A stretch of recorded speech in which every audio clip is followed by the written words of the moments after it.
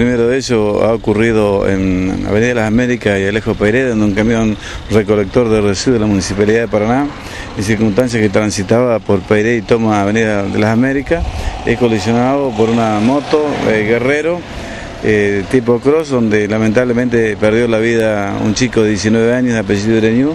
Bueno, se trata de establecer las circunstancias en que ocurriera el hecho. Bueno, la verdad que fue una tarea bastante eh, compleja poder eh, realizar la maniobra de extracción tanto sea del cuerpo como de la, moto, que habría participado. ¿no? Estuvimos trabajando más de tres horas y media allí, bueno, hasta que se pudo lograr.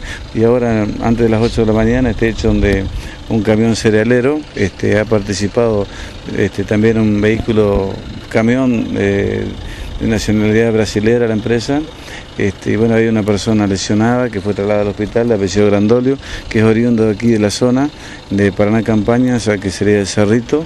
Bueno, se están evaluando sus, lesiones. Bueno, este, la verdad que el tránsito por este momento está siendo eh, asistido, tratando de reducir velocidades. Bueno, este, se están realizando todas las diligencias de rigor. Eh, ¿ha sido una mala maniobra en este caso de los, de los camiones?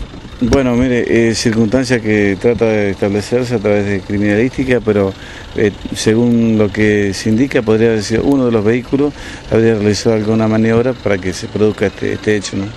Una maniobra muy complicada para ustedes. Muy complicada, con mucha actividad, realmente este, hemos estado eh, trabajando arduamente para tratar, en principio, de brindar un servicio de seguridad pública y el otro tratando de asistir a las personas que han sido protagonistas de una u otra forma de, accidente de tránsito. ¿No está mal advertirle a la gente en caso de que tenga que volverse a su casa, que esté en Paraná, que lo haga con la precaución debida? Sin duda, este, eh, en rutas nacionales hay restricciones en cuanto al, transporte o tránsito de camiones. Bueno, este, esta zona no está dentro de, lo que es el cuadrante de regulación de tránsito, si bien lo tiene provincia de Santa Fe, pero esta, zona, esta ruta no tiene no tiene este, esa regulación, bueno, lo hemos coordinado a través de la Dirección de Prevención y Seguridad Vial, este, la información y por supuesto sobre todo aquellos vehículos que transitan por esta zona, que lo hagan con precaución mientras eh, dure esta diligencias que se están realizando, bueno, y también con la recomendación del caso, como